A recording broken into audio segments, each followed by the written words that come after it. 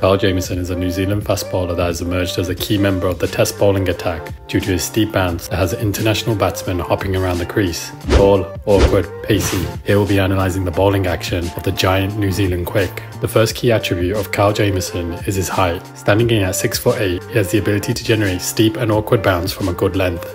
Due to the fact he can extract bounce from the surface, forces the batsman to play from the crease, allowing him to nick them off. This is because the batsmen are concerned about the rising delivery hitting the splice of the bat or hitting the body. Jamieson, like many fast bowlers, has a smooth run up to the crease and keeps his arms close to the body, maximising the forward momentum towards the crease. As Jamieson enters his delivery stride, he lands on the back foot, which points to the leg side, indicating he's a side-on bowler. However, as his hips rotate through, we can see that he has a mixture of a side-on and chest-on action. Through his load up, Jamieson keeps his front arm and bowling arm compact, which allows him to bowl in a straight path through to the target with his bowling arm.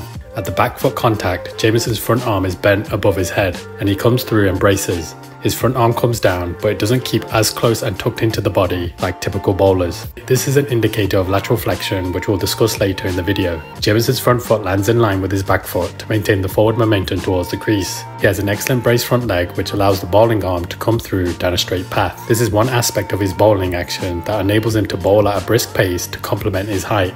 It's well documented that Jamieson has had his troubles with back injuries, with him recently experiencing another stress fracture of the back. Although most aspects of his bowling is pretty solid, there is evidence of lateral flexion that may be contributing to his back issues. As you can see, Jamieson's head falls away to the offside, causing the lateral flexion. From behind the bowler's arm, we can see that the head and body are pulling away to the offside as the bowling arm comes through. In reviewing Jamieson's bowling action, the area that he could work on is the alignment of his run up and jump past the umpire. As he approaches the umpire, he angles in off the left foot, so initially he's leaning away, then launches forward. Here he can focus on simple drills to approach the target with a slightly straighter alignment to keep the momentum moving forward and keep his body more upright as he launches off the left foot. The positioning of Jamieson's front arm could be stronger to encourage his bowling arm to pull his body down straighter as he braces over his front leg. As you can see here, Jamieson's front arm pulls slightly outside his eye line and his head follows suit as he pulls away. If he uses the front bowling arm as a guide that is more aligned centrally, then this will provide better alignment and positioning through the crease to reduce the amount his torso is bending to the offside.